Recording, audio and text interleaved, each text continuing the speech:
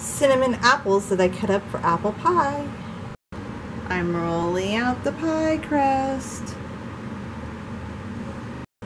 Okay, so now I have the pie crust, which I rolled out with wax paper and a rolling pin inside the pie pan.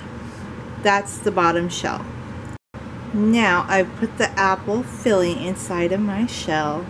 Organic homegrown apples with cinnamon and sugar. And I use sugar in the raw, so should be really good. Here is the homemade apple pie, the homemade crust, and I put cinnamon on top and it's sizzling. Apples are sizzling.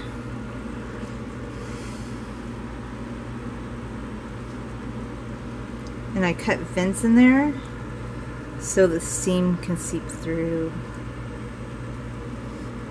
And this is sugar in the raw so it looks kind of like little clumps of sugar. It's not as granulated as regular sugar, but Sugar in the raw is really good. It's good quality sugar. And it's vegan sugar if you're looking for something vegan.